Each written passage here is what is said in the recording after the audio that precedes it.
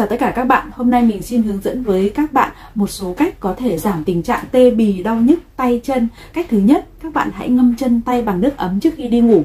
Các bạn hãy ngâm bằng nước ấm, cho thêm một chút muối hoặc là à, dùng à, muối ngâm chân thảo dược gồm các cái loại thảo dược chính như là quế, gừng, lá lốt, ngải cứu, uh, có thể kết hợp thêm một vài giọt tinh dầu để cho các thảo dược có thể dễ dàng thấm sâu vào lòng bàn chân. Các bạn hãy ngâm ở khoảng nhiệt độ 40 cho đến 45 độ C từ 10 cho tới 30 phút trước khi mà các bạn đi ngủ là tốt nhất.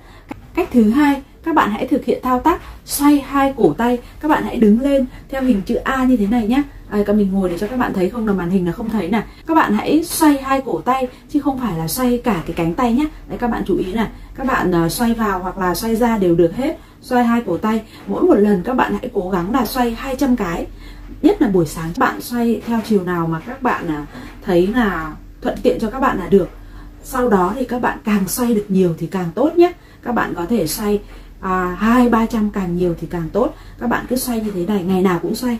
Chắc chắn rằng các bạn sẽ có một cơ thể khỏe hơn. Các bạn có thể xoay bất kỳ lúc nào các bạn nhớ nhé nhưng mà buổi sáng sớm trước khi mà ngủ dậy đó là một cái tốt nhất. Các bạn hãy thực hiện hàng ngày. Cái chứng à, đau tay à, nhức chân sẽ được cải thiện rất là nhiều và còn khắc phục giảm được nhiều các cái bệnh khác nữa.